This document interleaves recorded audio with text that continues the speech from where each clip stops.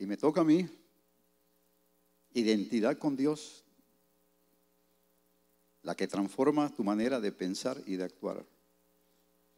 Porque en los últimos tiempos, o bueno, siempre ha sido así, pero ahora lo vemos como mucho más, como que esto va increciendo. Una cosa es lo que yo hablo, pero otra cosa es lo que yo hago. Entonces nuestros actos no son contestes con lo que estamos hablando y diciendo. Yo me encuentro con mucha gente por ahí que estuvieron aquí sentados con nosotros por muchos años. Ay, ay, pastor. ¿Cómo está? Mucho gusto. ¿Todavía usted sigue ahí? sí, todavía yo sigo ahí. Ay, pero es que yo no sé qué. Tranquilo, tranquilo, no se preocupe, camine. Vaya, siga, continúe. Pero me gusta lo que Alberto Einstein en algún momento de la historia dijo.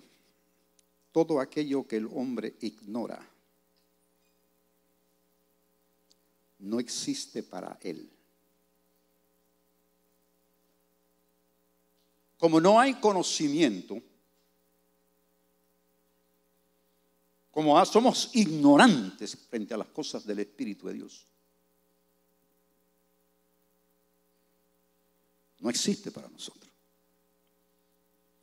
Casi que entramos como a polemizar, ¿será que yo tuve 20, 40 años en la iglesia y me equivoqué? Y eso de Dios, es, Dios no existe. O Dios, ¿verdad? Existe en base a mis criterios y formas de pensar.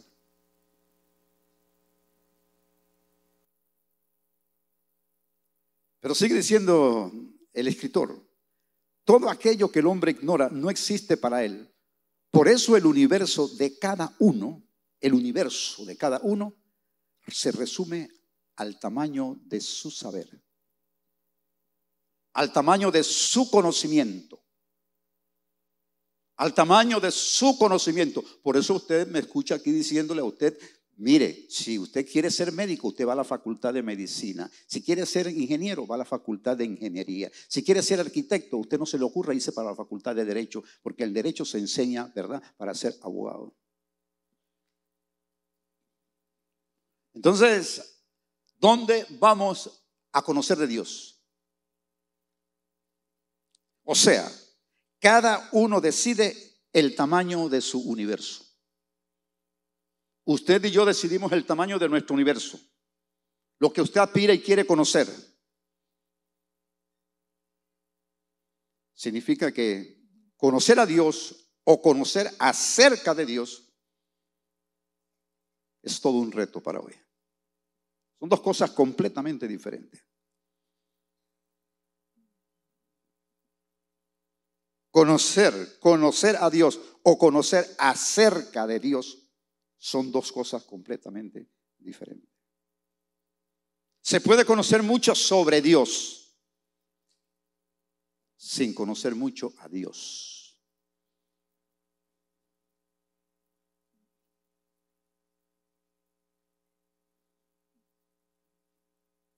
Se puede conocer mucho sobre Dios sin conocer mucho a Dios.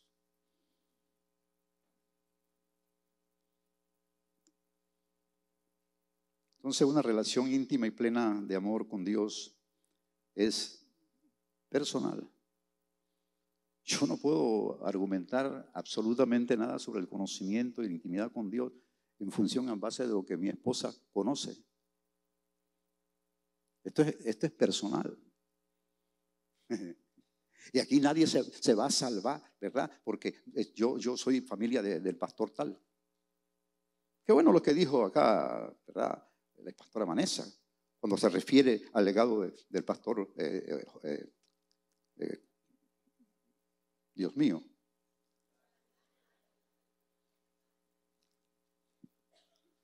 Qué bueno que sea así, Carlos. Qué bueno que hayas dejado esa huella en, en, en Vanessa.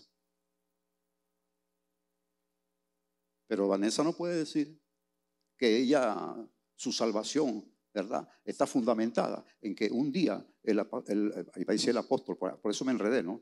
Eh, eh, a Carlos, porque a mí me gusta hablar mejor así, en intimidad.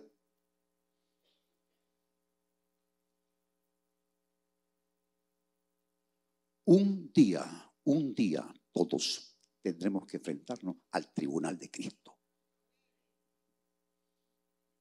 Y como siempre he dicho, ahí hay un expediente abierto. Y si usted cree que usted es vivo, juegue con, con, el pastor, juegue con su esposa, juegue con su esposo, juegue con el que usted quiera jugar. Pero con Dios usted y yo no jugamos.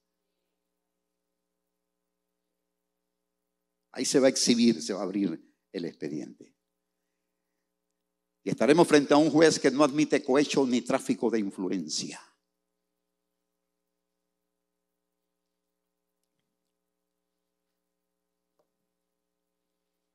Ahora usted preguntará, ¿cómo un niño, cómo un joven, cómo un adulto llega a intimar con Dios en tiempos donde esa palabra ya hasta ofende y algunos nos escondemos?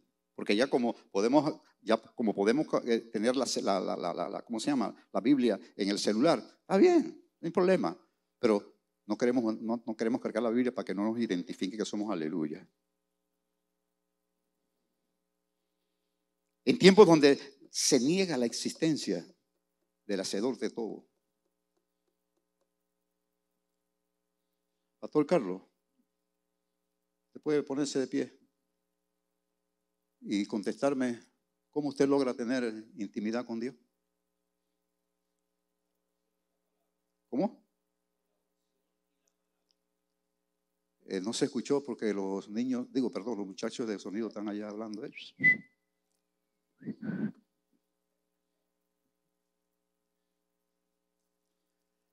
Micrófono acá. Pastor Carlos, ¿cómo cree usted que usted logra tener comunión e intimidad con Dios o intimidad con Dios.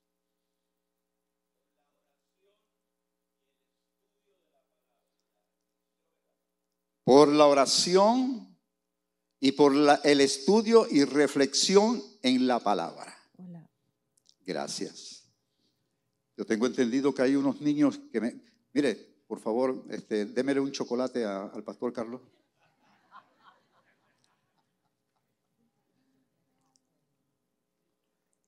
Hay unos niños que, tengo entendido que me quieren. Él no le necesita. Él está en, dieta, hermano. Este, eh, hay unos niños. Eh, ¿Dónde están los niños? Venga, venga, venga acá, acompáñame. Ven, ven, mi amiga. Ven, ven, ven, corre. Ven, corre. Conversemos aquí un momentito, ¿verdad? Con e, estos hermanos lindos y hermosos, tan bonitos, ¿verdad? Ya, son lindos. Mira tú, qué belleza. Dios mío. ¿Cómo te llamas? Jacob Marín. Jacob Marín. Jacob Marín. Jacob, simple, sencillo. ¿Cómo tú crees que tú logras tener comunión, intimidad con Dios? ¿Haciendo qué cosa? Bueno, yendo a la iglesia. O sea, yendo a la iglesia, no babeándose. Sí, yendo a la iglesia, em, leyendo la Biblia, orando, agradeciéndole a Dios por este día donde todos estamos reunidos aquí. o sea, o sea, lo que nosotros, muchos de nosotros, los grandes, no hacemos, ¿verdad? ¿Sí, verdad? Sí, yo sé. Hey, hermano, dame un abrazo, dame un abrazo. Te ganaste un chocolate, papá. Gracias. ¿Y tú? ¿Quién viene? Ah, es tu prima. Ah, que me trajeron toda la familia. Qué bueno, qué bueno, qué bueno. Por lo menos tenemos una familia firme, hermano. ¿Tu nombre? Mía. ¿Cómo? Mía Grajales. Mía Grajales. Mía. Qué lindo tu nombre, Mía. Mía, eh, eh, ¿qué, ¿qué, tú crees? ¿Cómo podemos lograr tener comunión con Dios? ¿Verdad? Intimidad con Dios en estos tiempos difíciles. No solamente para nosotros los adultos, sino también para los niños. ¿Cómo tú crees? ¿Qué, qué, qué podemos hacer? Orando, escuchando la palabra, leyendo los versículos, yendo a la iglesia. Mire, casi repitiendo casi lo mismo, ¿verdad? Bien, estudiando la palabra, leyendo los versículos, viniendo a la iglesia, orando, ¿verdad? Y eso es lo que tú haces. ¿Y qué, qué tú nos recomiendas a nosotros, verdad? ¿Verdad? A los que ya hemos caminado un poquito más que tú. ¿Qué tú nos recomiendas? ¿Qué hacemos? ¿Qué hacer?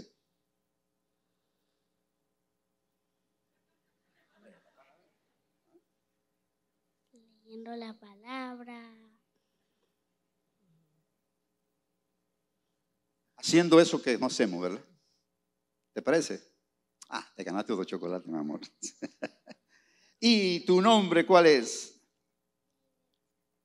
¿Cómo? Yaivet. Muy bien. Yaivet, la misma pregunta que le hice. ¿Tú eres también familia? ¿Mm? ¿Eres familia también de ellos? Ah, no, ah, no, qué bueno. Tenemos otra familia. ¿Qué, qué tú, qué tú, este, ¿Cómo haces tú para tener intimidad con Dios? ¿Cómo conocer a Dios? ¿Cómo, cómo hacemos esto? Oír de la palabra, leer la Biblia, ir a la iglesia. Mire, e, es tremendo, ¿no? Porque ellos tienen hasta el cantito, viendo la palabra, yendo la iglesia, leyendo los versículos, para que lo entendamos mejor, sí, con música, ¿verdad? Claro, porque si no lo entendemos por palabra, entonces lo entendemos por música. Qué, qué lindo, ¿verdad? Te ganaste otro chocolate, mamita. Bendiciones. Ay, ay, ay. Qué lindo, qué lindo. Ese es su hijo suyo. Pero están agarraditos de mano. ¿Y eso por qué? Ah, porque le gusta compartir. Ven acá, guapo.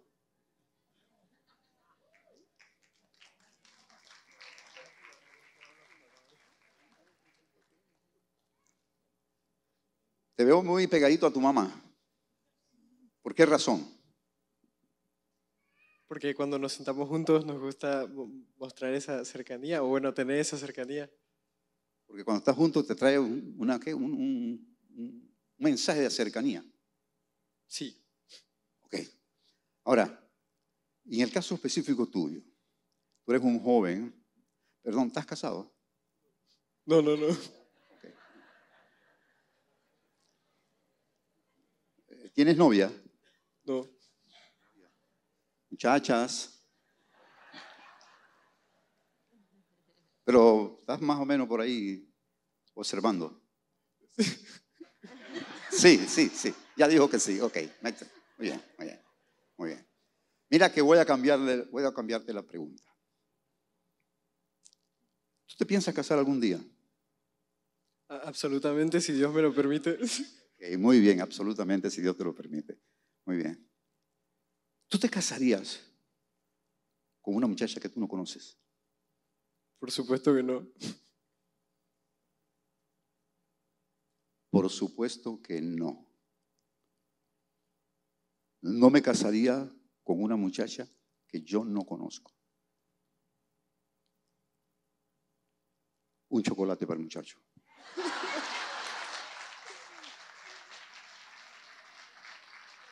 Y como se trata de familia, voy a llamar a la hermanita. Ven acá.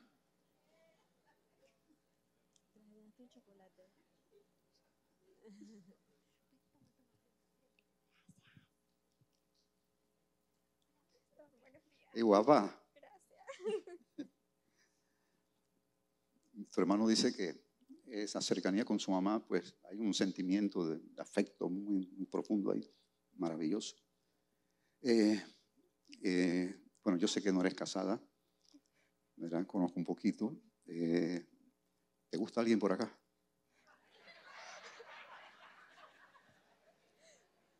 No, no, tranquila. Solamente, pero si no lo sabes, no importa. Pero si te gusta, bueno, pues está bien, me gusta. Ah, no, pero no, no, tranquila. No, no, te vayas a caer aquí después. No, no, por ahora no. Por ahora no. Tu hermano dice que él no, se, que él no tiene novia, pero que pretende que tú te aprendes también a casar un día. Si Dios me lo permite, sí. Ok. Si Dios lo permite. Eh, ¿por, ¿Por qué casar? ¿Para qué casarse? Bueno, pienso que a veces pensamos acerca del matrimonio como algo en donde nos agarramos las manos mientras vamos caminando por el parque, etcétera, etcétera. Pero creo que si lo vemos desde la Biblia, el matrimonio tiene un propósito muchísimo más grande que ese, que es como lo que nos compartía Carlos y Rosemary Evans durante el tiempo que estaban aquí. Es un compromiso que uno adquiere y una persona acompaña a la otra mientras que los dos cumplen ese propósito que el Señor tiene para sus vidas. O sea, que lo que me estás diciendo es que hay propósito en la vida de todos. Así es. O sea, no estamos aquí pa- para pasar el tiempo. No, no. Bien. Ok. Entonces, si te piensas casar, Sí. vale. ¿Te casarías con un hombre, con un chico que tú no conoces? No. ¿Por qué no? Bueno, porque luego, luego me va a salir con algunas cosas bien raras.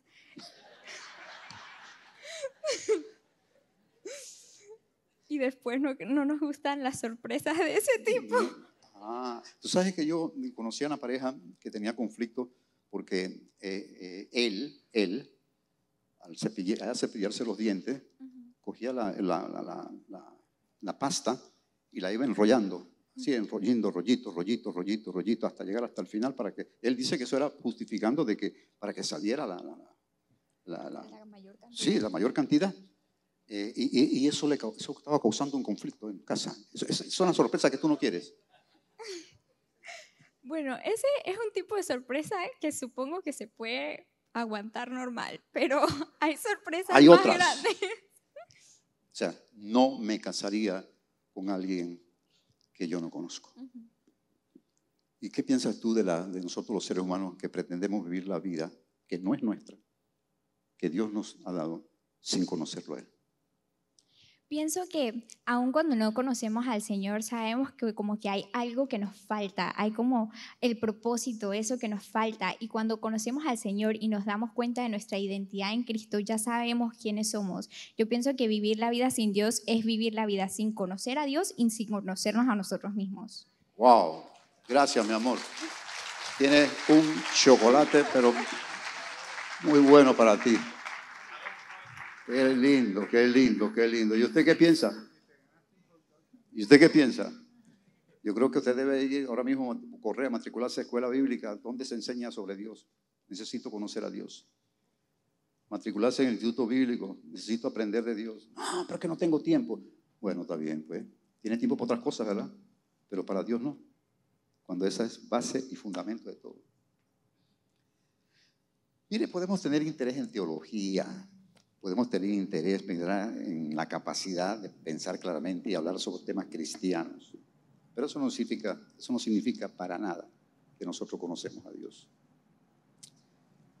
Este mensaje, que ya veo que nada más tengo 25 minutos, yo creo que me, lo, me están cortando el tiempo, me ha costado bastante.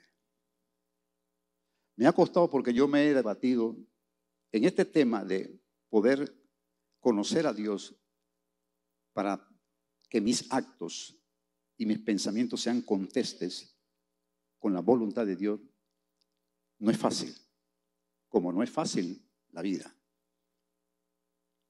Y me debatí en, varios pasajes bíblicos, por ejemplo, en el caso de Abraham. Dios le dice a Abraham, sal de tu casa y de tu parentela, deja todo. La palabra que yo, la pregunta mía es, ¿Abraham se equivocó? ¿Hizo lo que Dios le dijo? A ver, ¿qué pasó? Callado todo el mundo. ¿Abraham hizo todo lo que Dios le dijo?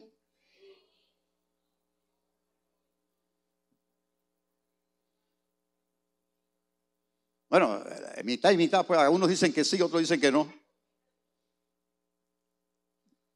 Entonces, ¿quién está equivocado? ¿Los de acá o los de allá? Los de allá. Así vivimos los de allá. ¿Verdad? Por eso en los carnavales las, mujeres que cantan las tunas dicen, "La- las de allá son las culpables. Porque siempre buscaremos y tendremos, ¿verdad? El recurso de culpar a alguien. El esposo acusa a la esposa, la esposa acusa al esposo, los hijos a los padres. Esto es tremendo.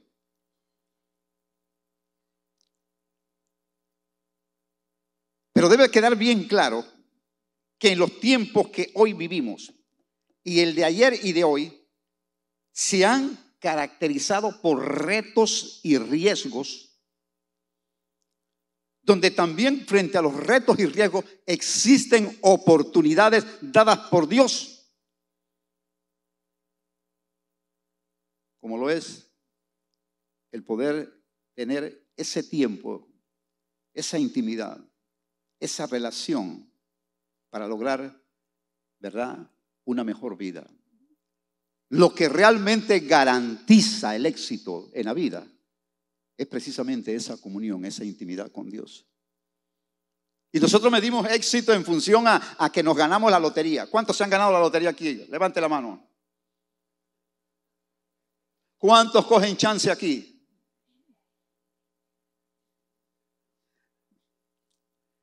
Los mentirosos no entrarán.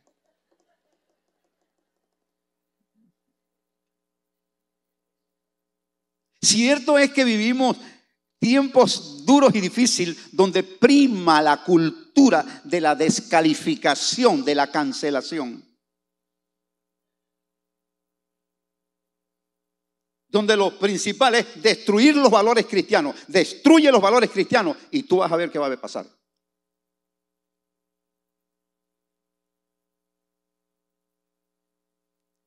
Y cuando digo valores cristianos, lo primero que pienso es, ¿realmente lo estamos viviendo en casa?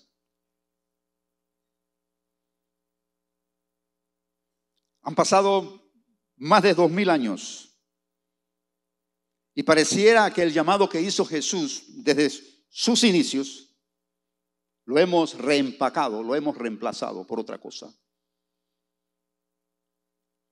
Yo ayer estaba en una consejería con una familia. Yo no soy vida ajena, pero yo soy muy observador. Y estaba viendo en las diferentes mesas donde estábamos, en un café. típico, típico. Todo mundo. Digo, ¿y esta gente, esta gente qué hacen aquí? ¿Por qué no se quedaron en su casa, cada uno en su cuarto? Y, y, ¿Por qué? Porque no hay valores. Porque hemos perdido el enfoque de lo que es casa, de lo que es familia. Teniendo como resultado, ¿verdad? Un llamado superficial en la fe. Yo escojo, ¿verdad? Ir a estudiar sobre Dios o yo escojo ir a la iglesia en función a si llueve o no llueve. Pero no como un, como un compromiso, como algo que sale de mi alma y del espíritu que yo sé que yo necesito. Bueno, por eso aún la iglesia es culpable de muchas cosas. Brindando, ¿verdad? Llamando a vivir la vida al margen de conflicto. Ven a Cristo y todo se solucionó. Mentira. Un llamado, ¿verdad? Lleno de oportunidades y promesas. Yo creo en las promesas de Dios. Pero tampoco Dios es un muñeco para que nosotros lo dirijamos. Un llamado carente de riesgos, carente de pasión, carente de sacrificio. Todo es fácil. Venga Cristo y todo problema desaparece. Jesús nunca hizo un llamado a ser parte de una religión acomodaticia. Y si él tuvo que pasarla, ¿quién es usted y quién soy yo para no tener que navegar por mares embravecidos? Jesús llama a seguidores a un camino que está lejos de ser un sendero fácil. Por el contrario, es un sendero lleno de retos, de riesgos, de aventuras e incertidumbre, pero lleno de muchas posibilidades.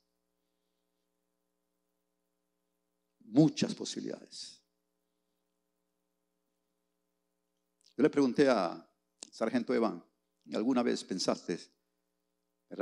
Llegar a ser un oficial grande de los marines? Sí, sí, sí, claro que sí. Y iba para eso. Si a, a los pocos tiempos de servicio ya yo era sargento primero pelean ganador de guerras.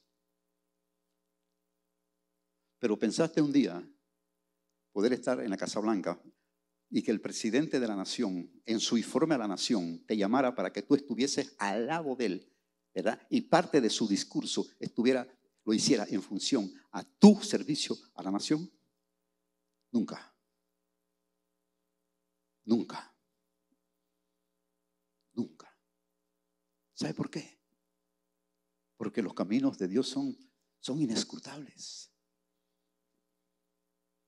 Tampoco podemos decir que, eh, ahora eh, Dios lo mandó para que le, explotara la bomba para que desaparecieran sus miembros. No, eso no es Dios.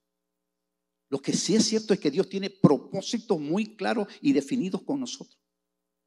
Y esto debe quedar bien claro, que pese a lo antes señalado, es Dios el único que puede llenar los deseos y anhelos más profundos del corazón de todo ser humano. Más nadie.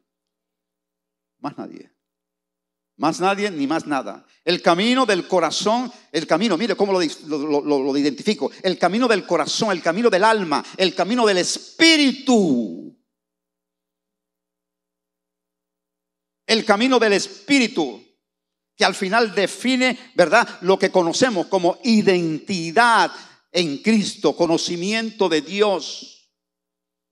¿Qué tanto cuido esto físico? Pero lo que interno es lo que realmente tiene vida. Lo que hace la vida. Lo que nos hace, lo que nos hace, ¿verdad? Caminar como debiera ser. Y escuche esto. Por ejemplo, si yo he perdido lo que es interior, he ganado solo lo que es exterior. Voy a repetir. Si he perdido lo que es interior, lo interno, y he ganado solo lo que es exterior, yo tengo que hacerme una pregunta. ¿En realidad he ganado algo? Entonces, ¿por qué nos afanamos tanto por lo exterior?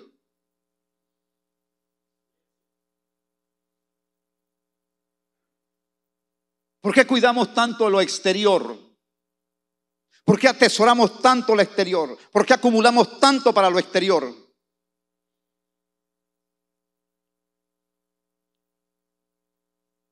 Yo no sé, como digo, no sé cuántos sepelios o funerales yo he oficiado, pero nunca he visto, ¿verdad?, que ni en el cajón chiquito ni en el cajón grande se llevan algo.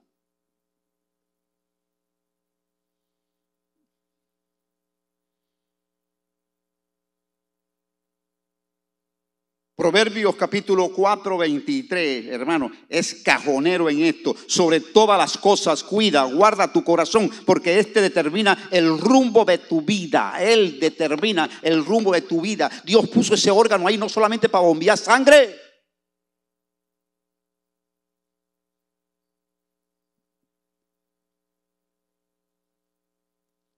Nunca, nunca, nunca, nunca nuestra vida procede de nuestro de nuestro exterior.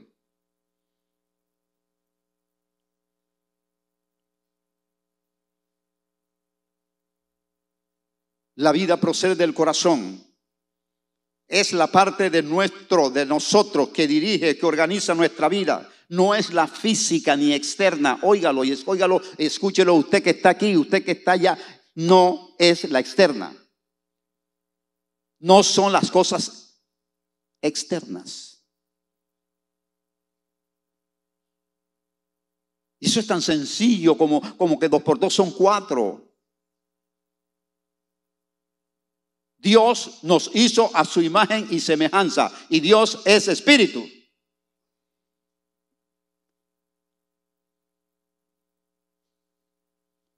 Si he perdido lo que es interior y he ganado solo lo que es exterior, ¿en realidad he ganado algo? Descubramos brevemente el corazón de Dios. La pregunta inicial aquí es, ¿los intereses de Dios serán los intereses nuestros? Pregúntese a sí mismo, ¿los intereses de Dios son mis intereses?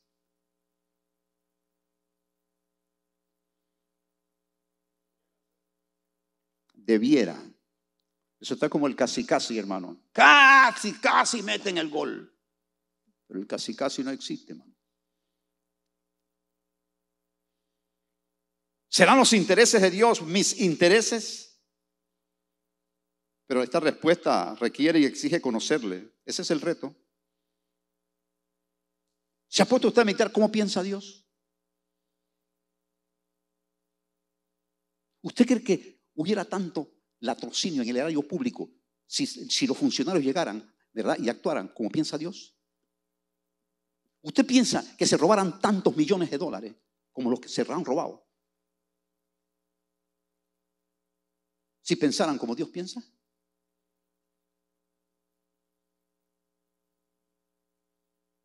Entonces, pareciera que nos hace falta Dios. ¿Cómo piensa Dios? ¿Cómo piensa Dios? ¿Cómo actúa Dios? Digna, ponte de pies. Te honro, mujer de Dios. Te honro, digna.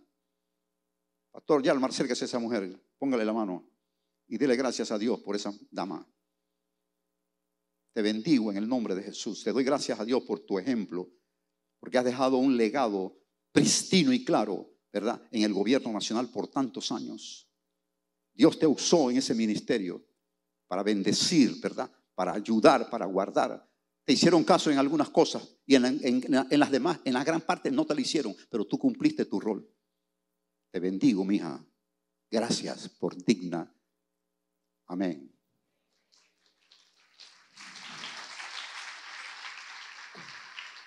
Cuarenta y pico de años y un pico largo. Cuarenta y tres años de servicio público pegado al ministro de Obras Públicas. Dieciséis ministros y ninguno. Y el que acaba de llegar le dijo, no te vayas, por favor, no te vayas. Yo le he dicho, digna, dile que, que me dé un millón para resolver los problemas de la iglesia. Pero por voluntad propia dijo, hasta aquí llego, como servidora. Eso, eso es lo que necesitamos. Gente de esa naturaleza, de esa expertise, ese coraje. ¿Cómo actúa Dios? ¿Cuáles son sus intereses? ¿Sobre qué cosas pone Dios su corazón? Pedro Rebolledo, ponte de pies. Has servido y eres ejemplo en la Universidad Tecnológica de Panamá, una de las mejores de Latinoamérica.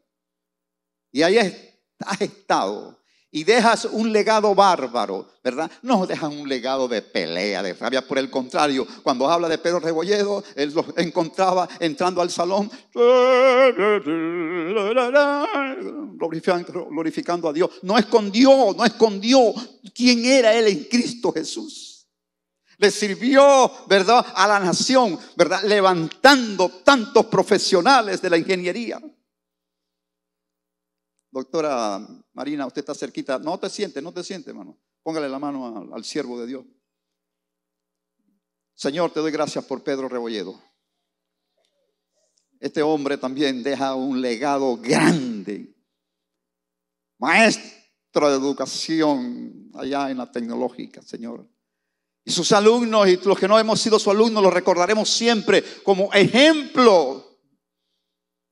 Ese es su legado. Bendecimos su vida. Él siga siendo firme en esa vocación al cual tú le llamaste. Amén y amén. Entonces, pertenecer a Dios e intimar con Dios es ser parte de sus deseos, es ser parte de los intereses de su corazón. Si en realidad hemos respondido a ese llamado de seguirle a Él, entonces debemos haber, debe haber una, una, una, una, una, algo que nos grita acá internamente, ¿verdad? Tú estás luchando por los intereses de Dios. Tú te identificas con los intereses de Dios. Tú, tú, buscas lo, lo, que Dios quiere. Ahora, es como eso es un proceso también. Debemos vivir, ¿verdad? Bajo su mentoría. Un mentor, ¿verdad? es la relación, el apoyo, la guía del maestro. La mentoría es una relación entre el mentor y el aprendiz. Yo tuve mi mentor. Yo tuve mi pastor. Ya está en la presencia del Señor, David Vicente Spencer. Doy gracias a Dios por ese hombre. me enseñó, me domó. Uh, Dios mío. No, ese reloj está mal. Eh, son 10 para, para las 9, hermano. Es para las 10, perdón. Sí, ¿verdad? Y eso, mire, ya no está 10 y tanto, ¿no? No lo miro. Someterme al mentoreo de Dios, al cuidado de Dios, a la guía de Dios, es lo único que me puede traer buenos resultados. ¿Usted quiere buenos resultados en su casa? ¿Usted quiere buenos resultados en su familia? ¿Usted quiere buenos resultados en el barrio, en la comunidad, en la nación? Sométase a la mentoría de Dios. Tengo un chocolate para el que me dice aquí, pero no los teólogos que hay aquí, ¿verdad? ¿Dónde se encuentra la historia de Jefté? Uno, dos, yo dije que los teólogos no. Tres, cuatro, cinco, seis, siete, hasta el diez, ocho, nueve. A ver, niños. Ay, papito. No te reveló, relevó, reveló sangre ni carne, sino tu mamá. Ven adelante. Ven, ven, ven. Ven, ven. Te ganaste un chocolate. Corre, corre.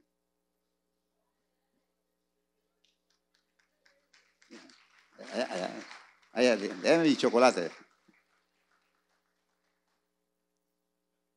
Pero por lo menos se atrevió, ¿verdad? Eso es importante.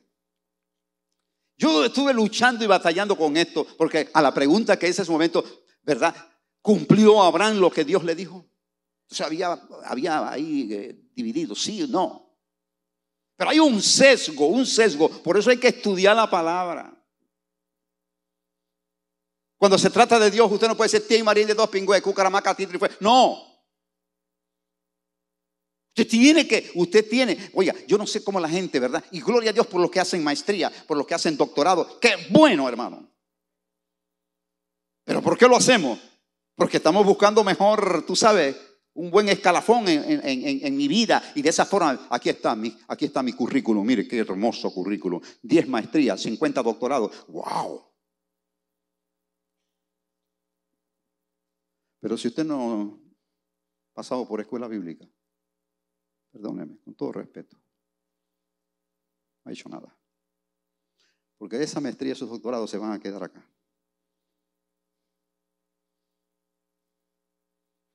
Pero si tú abonas para tu vida interior, va a ser mucho mejor.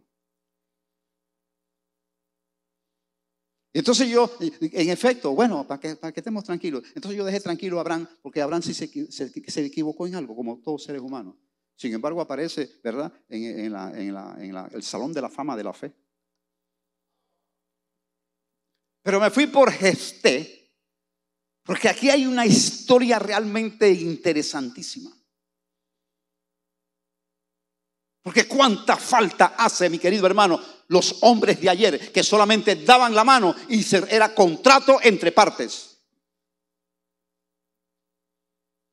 Pero hoy burlamos votos, venimos a los altares en, hambre, en desnudez, en, muerte, ¿cómo se llama? En, calamidad, en lo que sea. Juro serte fiel para toda la vida. El primer estremezón, hasta ahí llegó. ¿Qué cosa? Hoy, hoy nos debatimos en este pugilato de, incertidumbre que, que, no sabemos quiénes somos. Y este, este, este caballero, ¿verdad? Me llamó la atención porque es una historia muy singular, llena de muchas lecciones de ayer y hoy, de las que vivimos hoy día. Y ese, ese capítulo 11 del libro de jueces precisamente dice lo siguiente, este fue un gran guerrero de la región de Galá, hijo de Galá, pero su madre era una desadaptada social.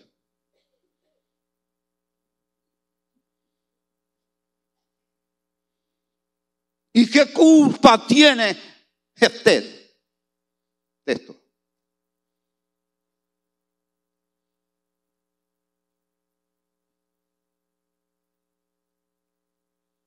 Yo me imagino que siempre vivió con el dedo acusador.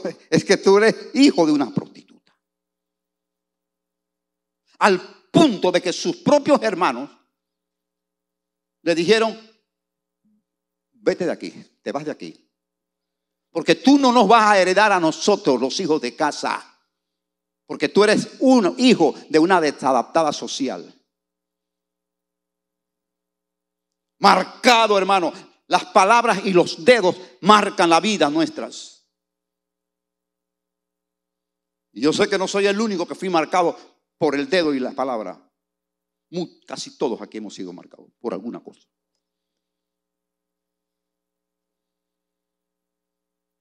Tenía un estigma fue rechazado por su origen. Pero aún los mismos que lo rechazaron, al final quedaron buscándolo. Porque e, es una historia impresionante. No tengo oportunidad porque ya me tienen nada más un minuto con un segundo y el segundo se acabó, ¿verdad? Este, eh, eh, eh, para contar la historia, que es una historia realmente hermosa. Capítulo 11, capítulo 11 del libro de los jueces, por favor. Estúdielo, repítelo, porque no voy a tener oportunidad de terminar el mensaje. Quizás, ¿verdad? Allá, no sé ni cuándo, podré llegar al punto final. La pregunta que me hice inmediatamente, ¿cómo Dios utiliza el rechazo en mi contra? ¿Cómo Dios utiliza el rechazo en mi vida? ¿Cómo Dios maneja esto en mi vida? ¿Cómo Dios puede cambiar tu forma de pensar? Ayudándote a gestionar el rechazo. Ayudándote a gestionar el rechazo que hay sobre tu vida. Y yo me identifiqué un poquito con este, con este caballero.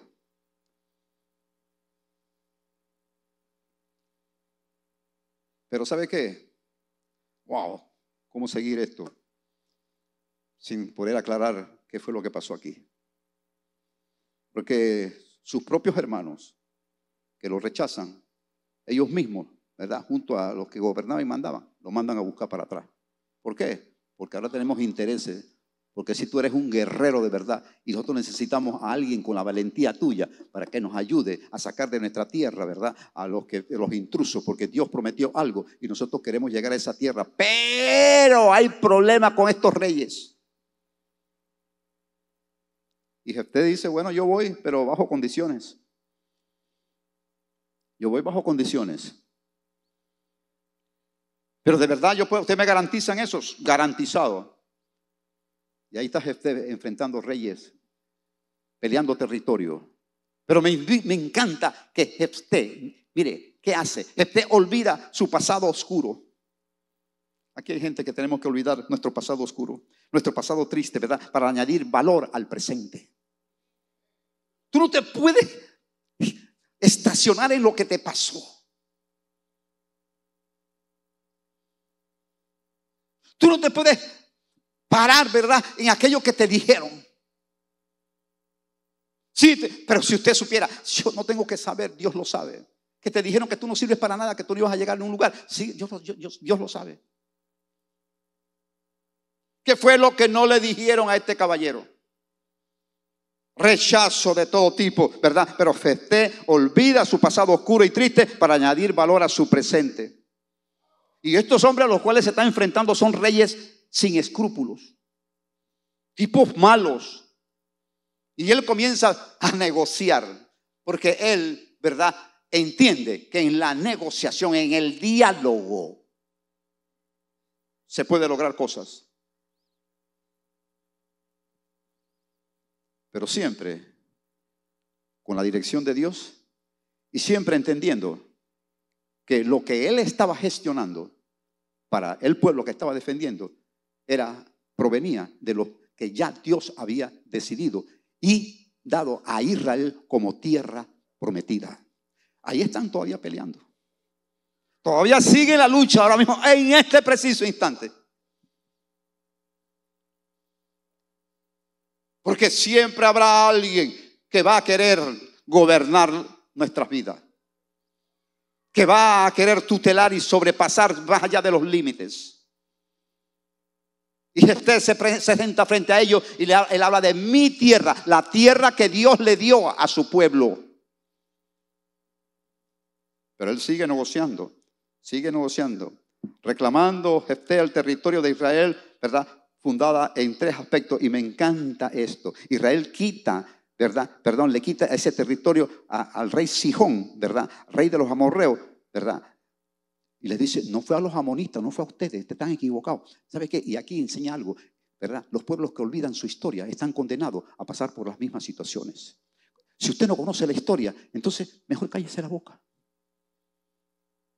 Y él está recordando la historia. No, es que usted desconoce la historia. La historia no es como usted la está señalando. Lo segundo, ¿verdad? Y estoy apuradito ahora. El Señor Dios de Israel, Él fue claro. el Señor Dios de Israel. Cuando Él incluye el Señor Dios de Israel, mire qué interesante, qué interesante. La guerra, no, la, la guerra no está en términos militares, no solamente, sino en competencia entre dioses. Vamos a ver, Elías. ¡Eh! Griten todo lo que quieran, dioses. Pero vamos a ver, el que baje fuego del cielo, ese es el verdadero Dios. ¿Quién es tu Dios? ¿A qué Dios tú le sirves? ¿Tú conoces a Dios? ¿Tú conoces la fortaleza de Dios? Tú conoces, tú conoces y sabes con quién tú caminas y andas. La tierra, el territorio que Israel reclama, pertenece a Dios. Siempre buscó el entendimiento. Y dice la historia que buscó los atrechos, buscando, ya por, buscando las, los límites externos para evitar conflicto.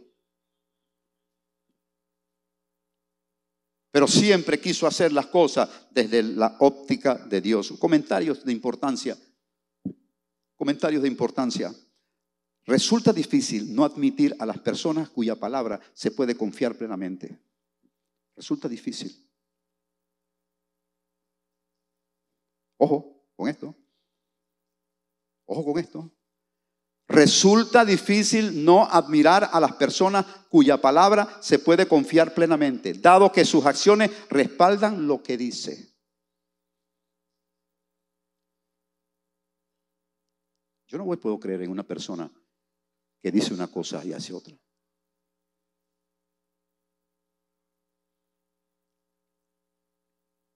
No se puede. Yo escuché al presidente Molino ayer decir que los nombramientos que estaba haciendo lo hacía bajo su responsabilidad y salían de él, y solo de él. Y alguien le tuiteó, le dijo, ¿y eso que usted está combatiendo con el, allá con usted, el asunto, el hombre de los sindicatos? No se, no se, no se, no se hace verdad en fulano de tal, le mencionó otro nombre. Pero él dijo, sí, yo, yo lo nombré.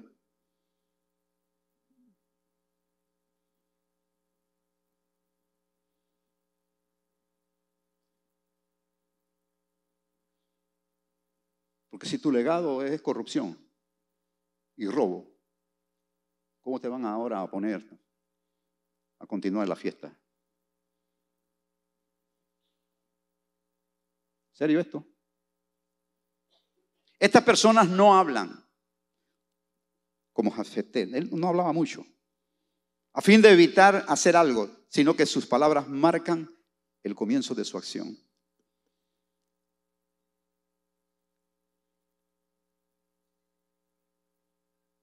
Por eso esas personas se convierten en, en buenos negociadores. Porque no, no, no son como el camaleón, que están de un color un momento y otro color después. Enfrentan conflictos y no dudan de utilizar cualquier medio a fin de resolverlo. Y Jefté era esa clase de persona. Aclaró los puntos en cuestión, ya los, ya los mencioné, para que todos supieran la causa del conflicto y los objetivos a lograr. Es que Israel estaba peleando su territorio, Necesita llegar a lo que Dios le prometió. Y por eso Dios le dio la victoria. Entonces la, respuesta de los oponentes determinó los siguientes pasos a seguir, porque ellos querían guerra. Bueno, ¿quieren guerra? Bueno, va a guerra, pero se va a hacer lo que Dios dice. Y Dios le dio la victoria. ¿Por qué?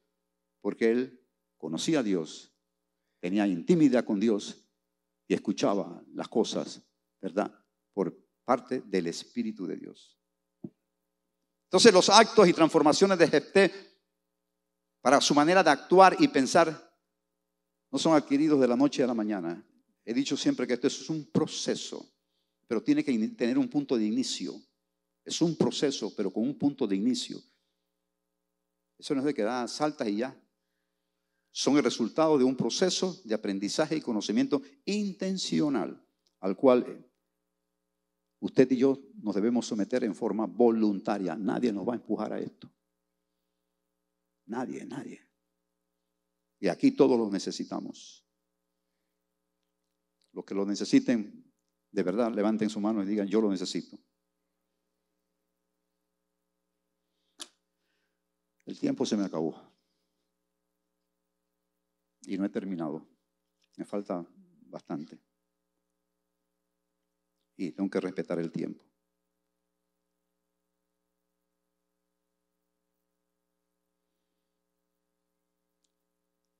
¿Es considerado usted una persona de palabra? ¿Es considerado usted una persona de palabra? ¿Soy yo considerado una persona de palabra? Y sobre todo los que están a mi alrededor. ¿Seré yo considerado una persona de palabra frente a mis hijas? ¿Frente a mis nietos? ¿Frente a mis amigos? ¿Frente a mis vecinos? ¿Mis compañeros de trabajo? Pero en el versículo 29 del capítulo 11 del libro de jueces dice que el Espíritu del Señor vino sobre Jefté y solo una persona que está profundamente en intimidad con Dios puede ser llena del Espíritu Santo. Si no, ¿qué va? Vamos a estar llenos de otras cosas, menos de Dios. Menos de Dios. Y hay un temita aquí que voy a terminar con él. Y qué lástima que no puedo profundizar más en esto. Este hizo algo que hoy todavía los teólogos están tratando de darle una respuesta. Porque usted dice, le dice a, a los negociadores, perdón, a Dios, si tú me das la victoria,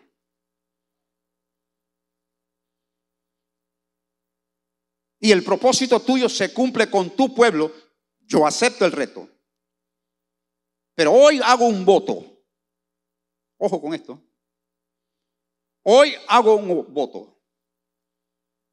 El primero que salga a recibirme, el primero que salga a recibirme cuando yo regreso de la guerra con victoria, yo la ofrendaré, ¿verdad? La, daré como ofrenda quemada, ¿verdad? Porque como sacrificio de ofrenda quemada. Ahí viene otra lección. Cuidado con lo que nosotros decimos. Y no solamente lo que decimos y lo que prometemos, sino frente a quién lo prometemos. Él estaba haciendo un voto delante de Dios. Y los que no conocen la historia, ¿saben quién fue la persona que lo, primera que salió a recibirlo? Su propia hija. Y él dice, ahora sí, estamos en conflicto. Él quiere decir algo. ¿Quieres decir algo? ¿Una qué? ¿Una qué? ¿No te escucho? Ah, claro, claro que sí. Salió a recibirlo con la hija, con el pandero, en música contenta, claro. Llegó papá, llegó papá victorioso de la guerra y viene victorioso y nos trae el triunfo. Vamos camino a la tierra prometida, ¿verdad? Un, un chocolate para el niño.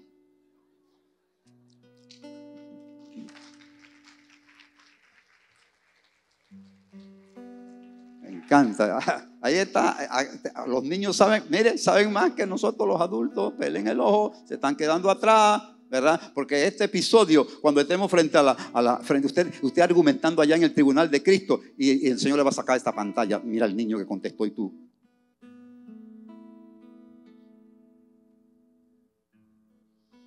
Contenta la muchacha.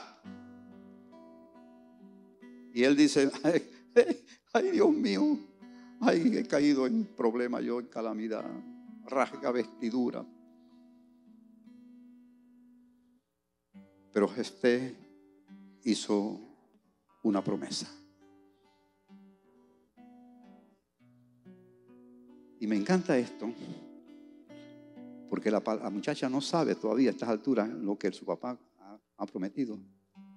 ¿Sí? Bueno, ahí se lo dice. Cuando Festé volvió a su casa en Mispa, su hija salió a recibirlo tocando una pandereta, miren, y danzando de alegría. Ella era su hija única, ya que él no tenía más hijos ni hijas. Y cuando la vio, se rasgó la ropa en señal de angustia. Hija mía, clamó, me has destruido por completo. Me has traído una gran calamidad, pues hice un voto al Señor y no puedo dejar de cumplirlo. Y ella le dijo, Padre, aquí no dice que él le contó que era el voto, pero mire lo que ella comenta, Padre, si hiciste un voto al Señor, debes hacerlo, debes hacer conmigo lo que has prometido.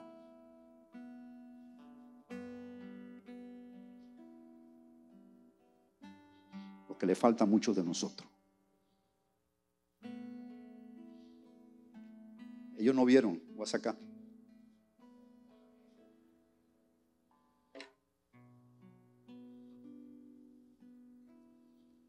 Ahí hay otra enseñanza, papá y mamá, ahí hay otra enseñanza. Tus hijos, mis hijos serán lo que yo he. ¿Qué cosa? Lo que yo he legado, lo que yo he modelado. Papi, yo no sé qué tú prometiste, pero si el asunto es conmigo, adelante. Te pido solamente un favor.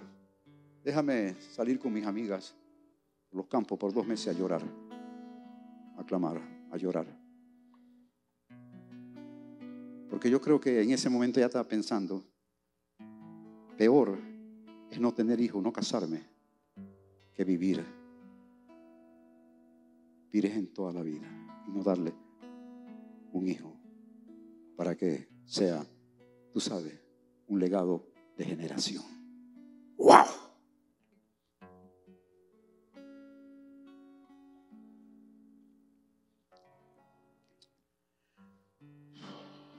No se sabe qué pasó con Jefté, eh, perdón, con la hija de, de Jefté. Y dicen los estudiosos que es posible que haya sido quemada como ofrenda.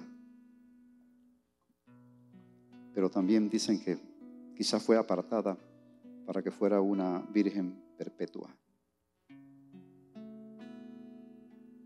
Y usted sabe que hoy día es una costumbre de Israel, de las mujeres de Israel, tener un tiempo para recordar aquella, aquel evento. Mire si nosotros marcamos historia. Marcamos historia de dolor, de llanto, pero marcamos historia, ¿verdad? Que levantan la vida de otros. ¿Qué clase de historia estás dejando? ¿Qué clase de historia estoy yo legado?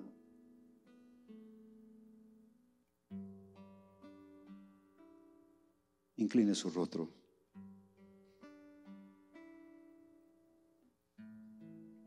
Claro que el destino de esa muchacha es difícil de entender. Y al final no sabemos qué es lo que en realidad usted pretendía con su voto. Y algunos dicen que fue algo innecesario. Pienso que sí. No había necesidad de eso, pero lo hizo.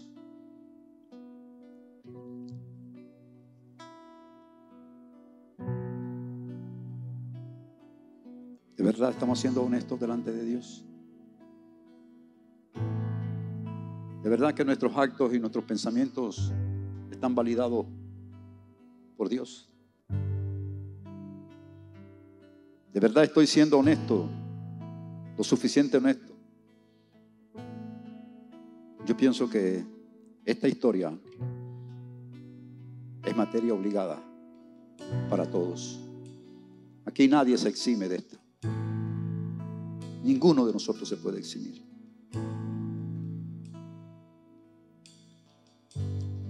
Había algo que mi mentor nos repetía o me repetía cada rato.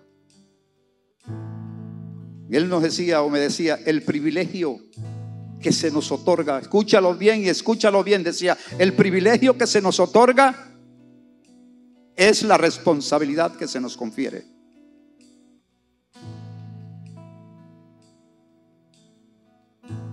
El privilegio que se nos otorga, que se te otorga, que te da, la oportunidad que se te da.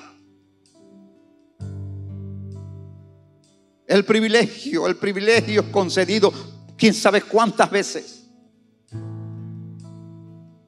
El privilegio de tener hijos. ¿Para qué?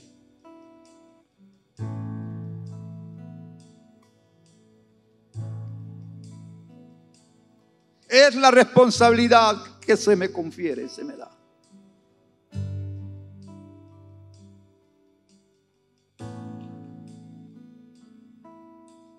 La medida de tu confiabilidad es tu disposición a asumir responsabilidad, aunque tenga que pagar un alto precio por algo que yo he dicho.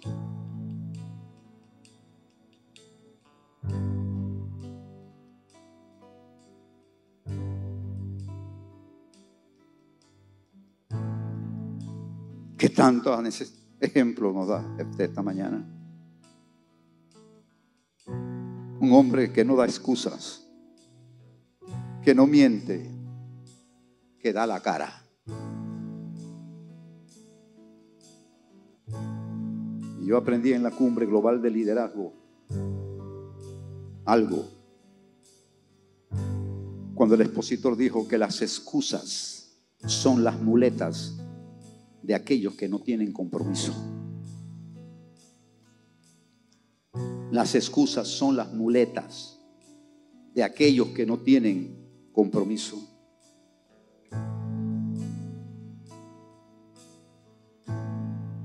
Este era un hombre que tomaba a Dios para cada acción de su vida. Por eso los hechos y los actos de Jefté lo llevaron al salón de la fama, al salón de la fe.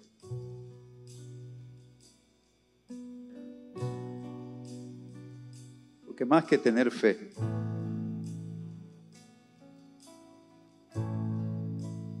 está la decisión que pueda tomar hoy. Algo debe resucitar hoy en tu vida.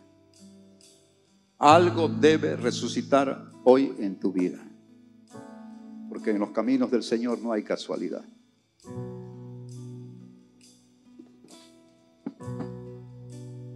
Y Dios te trajo intencionalmente hoy a este lugar para que escucharas esto. Hoy debe resucitar algo en tu vida. Algo que estaba muerto, que no tenía vida, que se llama integridad. Integridad.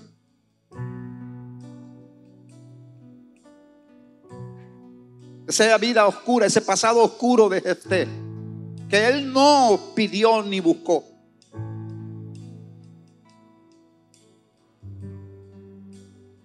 Por causa de una decisión de resucitar en algo, algo, algo en él porque entendió, yo estoy convencido de que Jefté entendió que el linaje de una persona, el linaje de donde tú vienes, no impide que Dios obre y use tu vida con poder. No impide que Dios te use con poder. ¿Y sabes qué? Esa persona eres tú. Esa persona eres tú. Debe resucitar algo en tu vida. Tan sencillo como esto.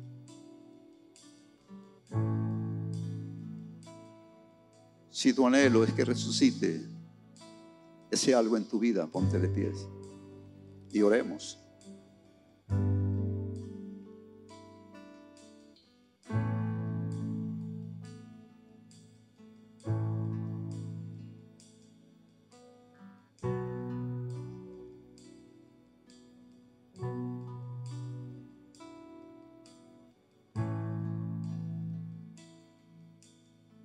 Dos palabras que definen la intimidad con Dios. Dos palabras. Uno, certeza y dos, confianza. Mira que va bien ligado a la fe. Ambas, una tiene un punto de inicio y un punto final. El inicio es creer en el carácter de Dios Dios es quien dice ser.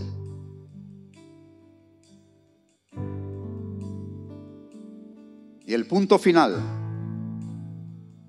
es creer en las promesas de Dios. Ahí se paró Jefté. Él hará lo que ha dicho que va a hacer. Y Dios ha hablado de ti. Cosas lindas y hermosas.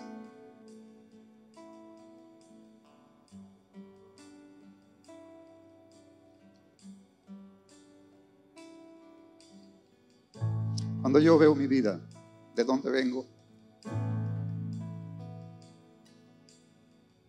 y cómo fui marcado para que yo pueda pararme frente a ustedes con la dignidad que Dios me da.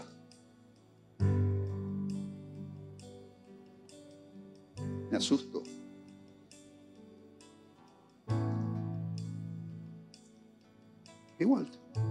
Igual usted. Igual usted. Eric, perdona que te, te use este ejemplo. Cuando en tu vida, yo no sé de dónde tú vienes. Yo no conozco tu historia. Pero lo que sí sé es que hoy estás dirigiendo el sindicato más fuerte y poderoso de Panamá. No es el Suntra que tú diriges.